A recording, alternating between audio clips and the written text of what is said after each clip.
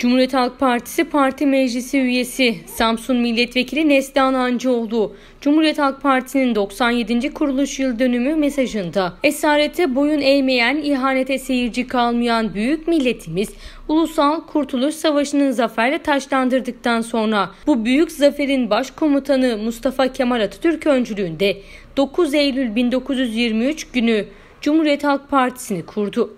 Cumhuriyet Halk Partisi'nin her bir kadrosu 97 yıldır bu inanç ve kararlılıkla mücadelesini yürüttü ve bundan sonra da aynı inanç ve kararlılıkla demokrasinin, hukukun üstünlüğünün ve gelecek güzel günlerin inşası için çalışmaya devam edecek.